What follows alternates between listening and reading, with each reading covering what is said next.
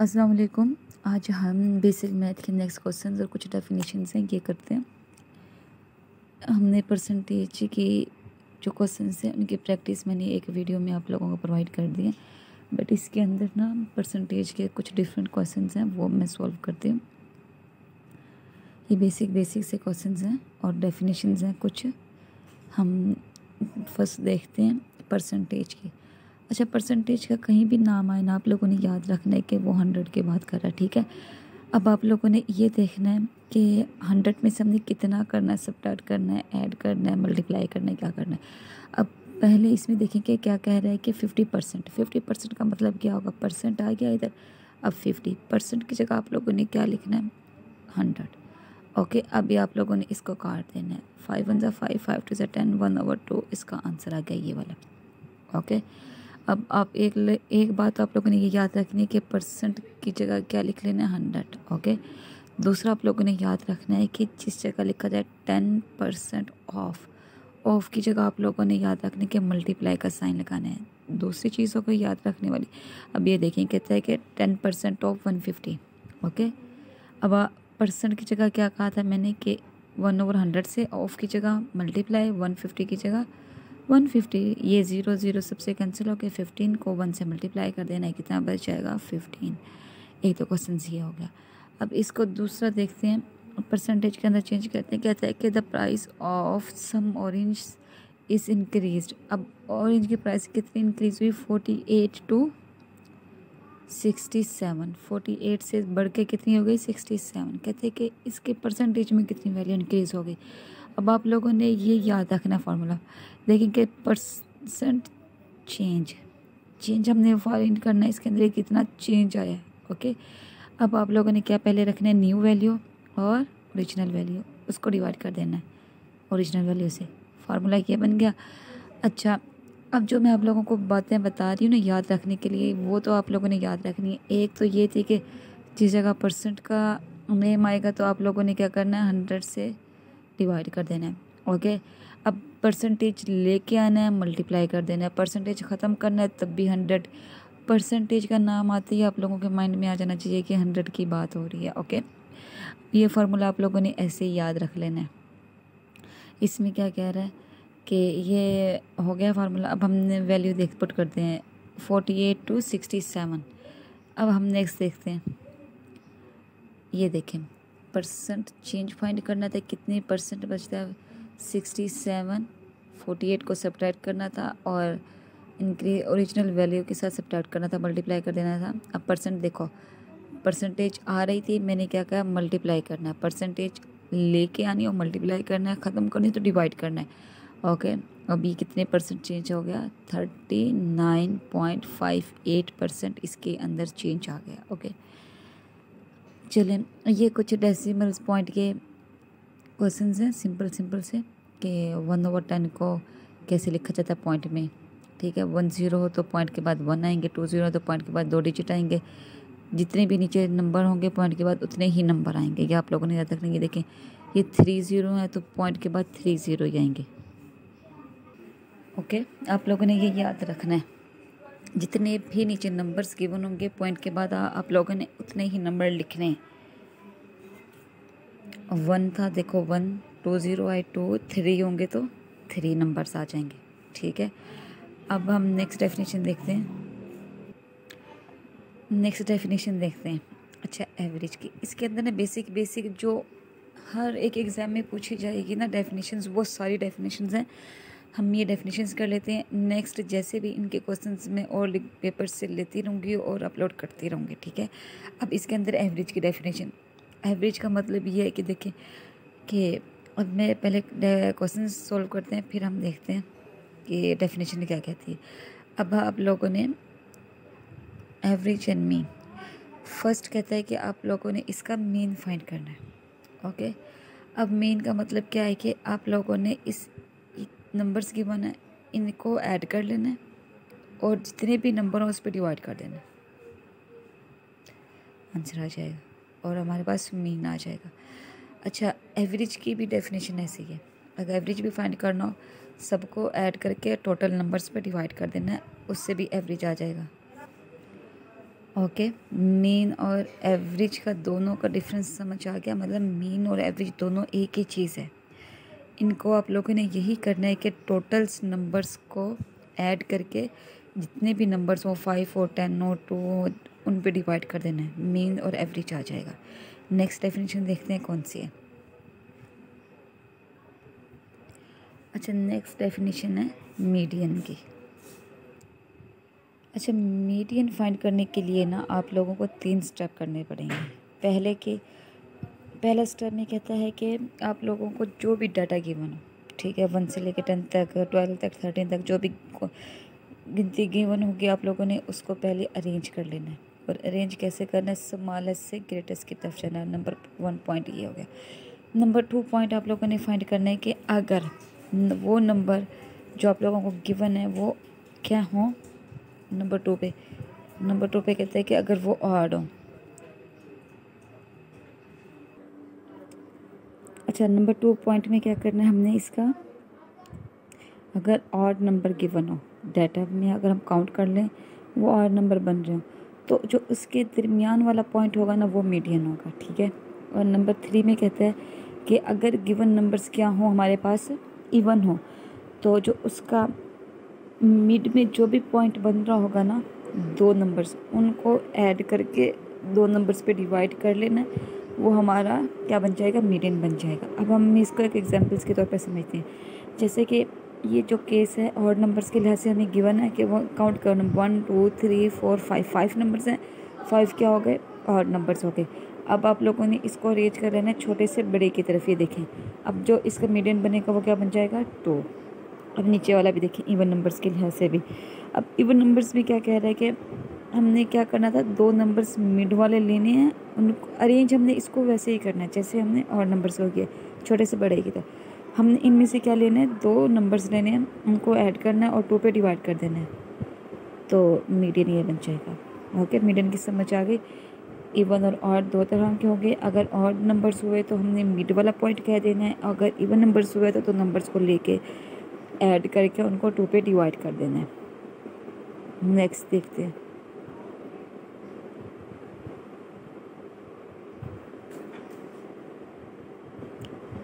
अच्छा mod. Mod, मैं आपको बताती हूँ कि मॉड क्या होता है। मॉड जो नंबर ज़्यादा टाइम आ, किसी भी मतलब जो नंबर ज़्यादा बार आ रहा हो किसी भी चीज़ में तो वो उसका क्या बन जाएगा? मॉड बन जाएगा। अब ये देखेंगे क्वेश्चन नंबर्स में क्या कह रहा है इसमें। इस एग्जांपल में कि टू, थ्री बार तो वन आया कितनी बार टू आया? फोर बार। अब इसका अंदर मोड क्या बन जाएगा? टू जो नंबर ज़्यादा बार आएगा, वो इसमें क्या बन जाएगा? मॉड ओके अब केस नंबर टू कह रहे हैं कि जैसे कि अगर ये चार बार आए और तीन भी चार बार आ जाएगा तो इसके मोड दो बन जाएँगे। एक टू और दूसरा थ्री अब इसमें देखें कि एग्ज़ाम्पल नंबर इसमें क्या कह रहा है कि तीन बार वन आया, तीन बार टू आया तो इसके मोड क्या बन जाएँगे? One and two okay average median mode ये तीन डेफिनेशन से ये क्लियर हो गई. एवरेज में होगा कि हमने सबको जमा करके जितने भी नंबर हों, उस पर डिवाइड कर देना है. एवरेज बन गया मीडियन इवन और ऑड के लिहाज से होता है मॉड जो नंबर ज़्यादा बार आ रहे हो, वो बन जाएगा. अब हम नेक्स्ट डेफिनेशन करते हैं स्क्वायर की. स्क्वायर का मतलब ये होता है कि किसी भी नंबर को उसी के ही नंबर के साथ मल्टीप्लाई करके आंसर निकालना था जैसे कि सिक्स को सिक्स से मल्टीप्लाई कर दो, थर्टी सिक्स बन जाएगा, ये स्क्वायर बन गया। अच्छा अब नेगेटिव का भी स्क्वायर जो लोगे ना, वो भी पॉजिटिव आएगा, थर्टी सिक्स आएगा। मतलब इसका यही है कि माइनस सिक्स को माइनस सिक्स के साथ दो बार मल्टीप्लाई करना। अब फाइव को फाइव के साथ मल्टीप्लाई करो तो ट्वेंटी फाइव बन जाएगा, ये स्क्वायर बन जाएगा। ठीक है? स्क्वायर का सिंपल डेफिनेशन ये है। बट इसमें ये ये बताया हुआ है कि किसी भी नेगेटिव नंबर्स को नेगेटिव के साथ मल्टीप्लाई करोगे, तब भी पॉजिटिव आंसर आएगा, ये याद रखना है। ओके नेक्स्ट डेफिनेशन देखते हैं। अच्छा इसके अंदर आप लोगों को ये बताया हुआ है कि ये स्क्वायर रूट की वैल्यू क्या होती है? वन ओवर टू और इसको हम ऐसे भी लिख सकते हैं। ये इसके लिखने के तरीके बताए हुए हैं ओके ये वाला बॉक्स ये वाला बॉक्स के हम इनको ना ऐसे भी लिख सकते हैं।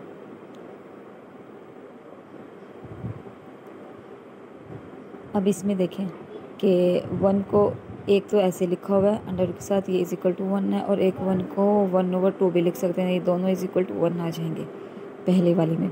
अच्छा अब दूसरी वाली में कह रहा है कि टू का स्क्वायर रूट क्या बनेगा? अब टू की पावर टू लिख तो फोर बन जाता है।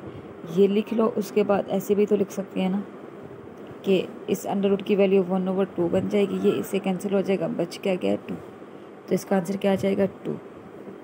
इन सबको ऐसे ही लिख सकते हैं। अब जैसे ट्वेंटी फाइव का लिखा हुआ ट्वेंटी फाइव को ऐसे ही लिख सकते हैं। अब हमने अभी देखा है कि अंडर रूट की वैल्यू क्या होती है? वन ओवर टू अब ट्वेंटी फाइव को फाइव का स्केयर लिख सकते हैं और वन ओवर टू लिख सकते हैं। ये टू टू से कैंसिल हो जाएगा, इधर क्या बच जाएगा फाइव ठीक है? ये सारे ऐसे हो जाएँगे। नेक्स्ट देखते हैं। अच्छा अभी हमने स्क्वेयर रूट की डेफिनेशन की है, ये है क्यूब रूट अब क्यूब रूट का मतलब ये होता है कि किसी भी नंबर को तीन बार मल्टीप्लाई करना। अब क्यूब रूट को तीन तरीक़ों से लिखा जा सकता है। जैसे कि फ़र्स्ट फाइव की पावर थ्री लिख दो, या ये लिख दो फाइव को अंडर रूट के साथ बाहर थ्री लिख दो ओके अब यह फाइव को तीन बार मल्टीप्लाई करके लिख दो। ये उसका क्या बन जाता है? क्यूब रूट अब फाइव को तीन बार मल्टीप्लाई करने से कितना बच गया? वन ट्वेंटी फाइव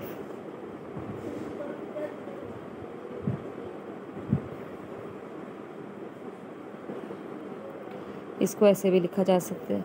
अब एट को। अब कहते हैं कि एट का क्यूब रूट फाइंड करें। अब ये देखें, अब जहाँ बाहर है तो हम ऐसे लिख सकते हैं कि two multiply by two multiply by two multiply करो, कितना बन जाता है? एट अब हम इसको ऐसे लिख सकते हैं टू की पावर थ्री अब ये देखें कि इधर तो क्यूब रूट है ना, इसकी जगह पे हम ये लिख सकते हैं। टू की पावर थ्री और क्यू क्यूब रूट ख़त्म किया तो वन ओवर थ्री आ जाएगा। ये इसे कैंसिल होकर क्या आ जाएगा? आंसर टू ठीक है, ये ये इधर लिखा भी हुआ है। ये देखे इधर। इस कोने में ना ये एक्सप्लेन किया हुआ है। नेक्स्ट डेफिनेशन देखते हैं।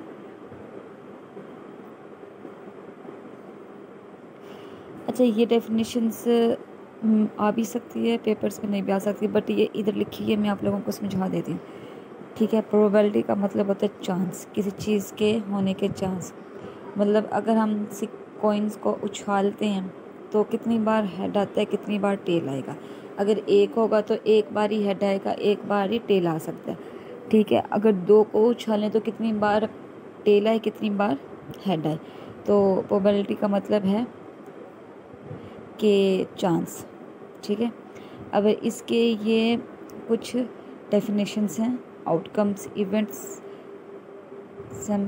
simple event simple event simple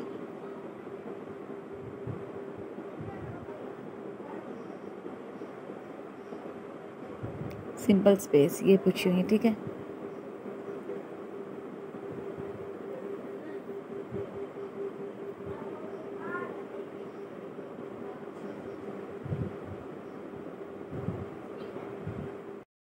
हम अभी नेक्स्ट डेफिनेशन देखते हैं अरेथमेटिक्स मीन्स ये भी सेम डेफिनेशन एवरेज की तरह की है. एवरेज और मीन्स की जो डेफिनेशन हमने पीछे की है ना, उसकी तरह की डेफिनेशन है.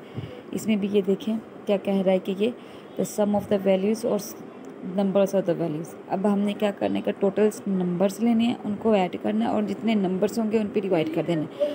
तो हमारे पास क्या आ जाएगी? अरेथमेटिक्स मीन्स आ जाएगी ओके ये जो हमने पीछे डेफिनेशंस की है ना एवरेज वाली तो उसके साथ ही मिलती जुलती है। तो आप लोगों ने कन्फ्यूज़ नहीं हो जाना, ये तीन डेफिनेशन सेम है। नेक्स्ट देखते हैं प्रोबेबिलिटीज़ प्रोबेबिलिटीज़ भी ये ये कि आउटकम और टोटल्स आउटकम पे हमने डिवाइड करना है। अब क्या कहते हैं कि एग्जांपल्स में jar contain a five blue marble five red and ten white ठीक है? अब कहते हैं कि what is the probabilities of picking red marble red marble कितनी थी हमारे पास? फाइव कहते हैं कि प्रोबेबिलिटीज़ फाइंड करो पाँच मार्बल अभी ये देखो कि जो आप लोगों ने मार्बल पिक की है फाइव रेड और टोटल नंबर्स पे हमने क्या करनी है? डिवाइड करनी है. फाइव और ट्वेंटी पे हमने क्या कर देनी है? डिवाइड कर देनी है. तो कितनी आ जाएगी? Zero point five two five okay probabilities find करने का ये ये तरीका है कि जिसकी वो आप लोगों से पूछे वो नंबर और टोटल्स अभी इधर तीन दी हुई चार दी हुई पाँच दी हुई जो भी दी हुई हैं उनको ऐड करके डिवाइड कर देना है। जिसकी पूछी है उस नंबर से डिवाइड कर देना है। अच्छा ये फार्मूला लिखा हुआ है क्वाड्रेटिक फार्मूला और इसका ये क्वेश्चन सॉल्व किया हुआ है। अब इसके अंदर आप लोगों को ए बी सी की वैल्यू गिवन है। जस्ट इस फार्मूले के अंदर ए बी सी की वैल्यू पुट करनी है पुट करके आप लोगों ने आंसर निकालेंगे ठीक है? ये फार्मूला ऐसे ही याद कर लेना। डिस्टेंस फार्मूला दिया हुआ है। Distance formula X one minus X two Y one minus Y two ये और स्क्वेयर रूट अब ये देखें इनके पॉइंट की वन है ये वाला एक्स वन है और ये वाई वन ये एक्स टू और ये वाई टू ओके और ये वाली वैल्यू इसके अंदर पुट कर देनी फार्मूले में। ये देखें पुट की हुई है। फार्मूले में पुट कर देनी है। पुट करके आंसर आ जाएगा तो ये डिस्टेंस बन जाएगा। ठीक है? आप लोगों ने ये भी याद रख लेना स्लोप का formula Y two minus Y one X two minus X one और जो भी वैल्यू गिवन होगी, आप लोगों ने ये देखें, इधर गिवन वैल्यूज़ है। आप लोगों ने इधर पुट कर देनी है तो आप लोगों के पास क्या आ जाएगी? स्लोप आ जाएगी। ये बेसिक बेसिक डेफिनेशंस हैं और बेसिक से फार्मूले हैं, ये आप लोगों ने याद रख लेने हैं, ठीक है? अभी हम लोगों ने तीन फार्मूले किए। देखें फ़र्स्ट ये क्या कि कॉर्डेटिक डिस्टेंस ये फार्मूला याद रख लेना है ये याद रख लेना। है सेम टू सेम आप लोगों को वैल्यू गिवन्स होंगे, आप लोगों ने इसके अंदर पुट कर देनी है। दो ये हो गए, तीसरा ये स्लोप वाला ओके ये देखें कि ये वैल्यू गिवन्स है, आप लोगों ने डायरेक्ट इसके अंदर पुट करके आप लोगों ने आंसर निकाल लेना। तीसरा देखते हैं। अब ये भी स्लोप का फार्मूला बट इसके अंदर एक्स इन्वॉल्व होगा। ठीक है? और इसमें आप लोगों को अलग से वैल्यू गिवन होगी। आप लोगों ने जिस चीज़ के अंदर पुट करके आप लोगों ने फार्मूला और वैल्यू आंसर निकाल लेनी है वाई की। अब ये देखें कि मिड पॉइंट मिड पॉइंट के लिए एक्स के लिहाज से अलग है वाई के लिहाज से अलग है। एक्स वन एक्स वन और वाई वन देखिए एक्स के लिहाज से अगर होगा तो X one plus X two over दो से डिवाइड कर देना मिड पॉइंट के, यही डेफिनेशन है। अगर वाई के लिहाज से पूछा हुआ होगा तो Y one plus Y two over two से डिवाइड कर देना, ठीक है? अब आप लोगों को ये दो मिड पॉइंट गिवन है। आप लोगों ने इसके अंदर एक्स और वाई की वैल्यू फाइंड करनी है। आप लोग दोनों को ये, इसके अंदर एक्स वन है और वाई वन है, ये एक्स टू है और वाई टू है, ठीक है? वैल्यू आप लोगों ने इधर पुट कर लेनी है और आपके पास मिड्स पॉइंट आ जाएँगे। अब ये पाँच फार्मूले हो गए। नेक्स्ट देखते हैं। एरिया ऑफ़ ट्राइंगल्स अच्छा एरिया ऑफ़ ट्राइंगल्स किसी भी ट्राइंगल्स का एरिया फाइंड करना तो क्या होगा? वन ओवर टू बेस की वैल्यू और हाइट की वैल्यू अभी इधर देखें गिवन है बेस क्या दी हुई है? फाइव और हाइट क्या दी हुई है? एट वैल्यू पुट करनी है सिंपल से। ये देखें ना कि अगर आप लोग एजुकेटर्स के लिए पीपीएससी के लिए किसी भी जॉब के लिए अप्लाई कर रहे हैं एजुकेटर्स में तो four five six seven eight अगर एट तक भी आप आप लोग अप्लाई कर रहे हैं तो लाजमी ये सिंपल सिंपल से क्वेश्चन था ये तो लाजमी पूछे जाएँगे। ये आप लोगों ने ऐसे याद कर लेने और इनकी प्रैक्टिस कर लेनी। आप एक बार, दो बार भी नहीं कर लेंगे ना सॉल्व ये हो जाएँगे सॉल्व इनमें ज़्यादा ये जब आप लोग और चीज़ें सारी याद करते हैं इंग्लिश और दो इस्लामियात पाक स्टडी करंट अफेयर तो ये तो बेसिक्स ही है। दो बार प्रैक्टिस करने से ये आप लोगों को याद रह जाएगी वैसे। अच्छा अब नेक्स्ट क्या क्वेश्चन दिया हुआ है कि ए का स्केयर प्लस बी का square is equal to C का स्केयर अब इधर आप लोगों को वैल्यू गिवन होंगी। या आप लोगों से पूछ लेगा ए फाइंड कर दें या पूछ लेगा बी या सी अब इधर पूछा हुआ है कि सी की वैल्यू फाइंड करें। तो सी को छोड़ के बाकी सब में आप लोगों ने आंसर इधर वैल्यू पुट कर देनी है। अगर वो आप लोगों से पूछ ले कि ए की फाइंड करें तो आप लोगों ने इन दोनों में पुट कर देनी है। ठीक है, किसी का भी आप लोगों से पूछ लेता है तो आप लोगों ने इसके अंदर वैल्यू उसकी नहीं पुट करनी, जो आप लोगों से पूछ रहा बाकी पुट करके आंसर निकाल लेना ठीक है, और इधर ये देखें, लिखा हुआ है कि रूट का मतलब वन नंबर टू लिखा जा सकता है। अच्छा ये था एरिया ऑफ़ ट्राइंगल ये याद रखना, ये एरिया ऑफ़ ट्राइंगल था। अभी ये क्या पूछ रहा है? एरिया ऑफ़ रेक्टेंगल्स ट्राइंगल्स में बेस को मल्टीप्लाई करना था हाइट के साथ. अब इसके अंदर क्या कह रहा है कि लेंथ को विथ के साथ मल्टीप्लाई करना है. दोनों की वैल्यू गिवन है आप लोगों ने क्या करना है कि इसको मल्टीप्लाई कर देना है. ओके ये डिफरेंस साथ साथ याद रखना है. ये था ट्राइंगल का और ये है रेक्टेंगल्स का. अब ये है एरिया ऑफ़ पेलोग्राम्स अभी देखें बेस और हाइट ट्राइंगल के अंदर था कि वन और टू से मल्टीप्लाई करते थे, इधर जस्ट है बेस को हाइट के साथ मल्टीप्लाई कर देंगे और दोनों को वैल्यू गिवन है पुट करके आंसर निकाल लेना। फाइव को सिक्स से मल्टीप्लाई किया थर्टी थर्टी इसका आंसर आ गया। अब क्या कह रहे हैं कि एरिया ऑफ़ सर्कल ये देखें, चार एरिया हो गए एक एरिया था ट्राइंगल का एरिया रेक्टेंगल का एरिया पेलोग्राम का एरिया ऑफ़ सर्कल का। अब हमने सर्कल के लिए क्या करना है कि A is equal to pi R का स्केयर अब देखें पाई की वैल्यू क्या होती है? ट्वेंटी टू बाई सेवन भी होती है थ्री पॉइंट टू वन भी होती है। दोनों वैल्यूज़ होती हैं, आप लोग जो भी पुट कर लें इसके अंदर। ओके पुट करके मल्टीप्लाई करके इसका आंसर आ गया। ये चार फार्मूले हो गए। हाँ तीन, ये एक पीछे वाला चार, ये आप लोगों ने सेम टू सेम याद कर लेने। नेक्स्ट देखते हैं। अच्छा सरकमफेरेंस ऑफ़ द सर्कल अब ये देखें, ये टू पाई आर अभी हमने क्या पढ़ा है? एरिया पाई आर का स्केयर है। एरिया का फार्मूला होगा पाई आर का स्केयर सरकमफेरेंस का होगा टू पाई आर ओके अब इधर पाई की वैल्यू और सी फाइंड करना है। अब ये देखें आर की गिवन की है, दी हुई है वैल्यू सेवन और पाई की वैल्यू आप लोगों ने खुद से याद कर लेनी है। पाई की वैल्यू होती है ट्वेंटी टू ओवर सेवन ये सेवन सेवन से कैंसिल हो जाएगा, ठीक है? और ट्वेंटी टू को इससे मल्टीप्लाई कर देना कितना आ जाएगा? फोर्टी फोर आ जाएगा अप्रॉक्सीमेट पाई की वैल्यू ये पुट कर दो तो भी ठीक है। थ्री पॉइंट वन टू भी पुट कर दो, वो भी ठीक है। तो इसलिए पॉइंट में वैल्यू आई है थ्री पॉइंट टू पुट करने से। अच्छा ये बेसिक बेसिक से क्वेश्चन आ गए। साइन कॉस टेन ये भी हम करते जाते हैं। साइन आप लोग याद रखें कि साइन होता है X over Y okay X और वाई की वैल्यू गिवन होगी। आप लोगों ने वो पुट करके आंसर निकालें। इधर भी ऐसे ही होगा। ठीक है? टेन।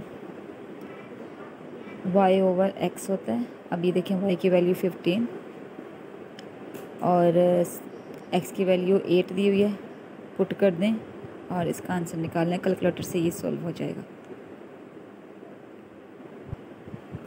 आज हमने बस इधर तक ही करनी थी। ये बेसिक बेसिक सी डेफिनेशंस थी और कुछ क्वेश्चंस थे। आप लोगों, इनको बहुत अच्छे से प्रैक्टिस कर लें।